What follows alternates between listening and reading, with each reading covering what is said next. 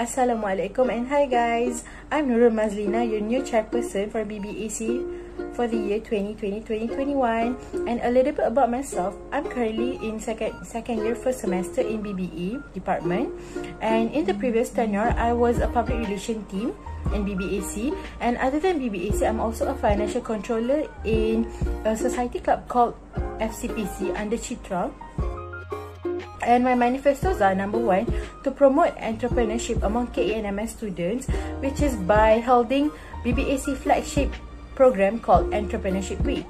And number two, I want to take account on students' mental health too.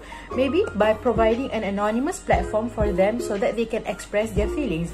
And lastly, I want to enhance the bonding among BBA students by having a two-way communication with them. And also by creating more programs for the new intake students.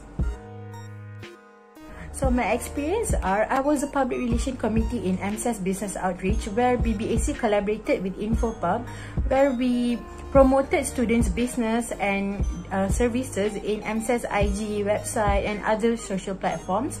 And number two, I was a public relation committee in BBAC webinar where we collaborated with Shopee we did a webinar on strategic production to improve business in Shopee.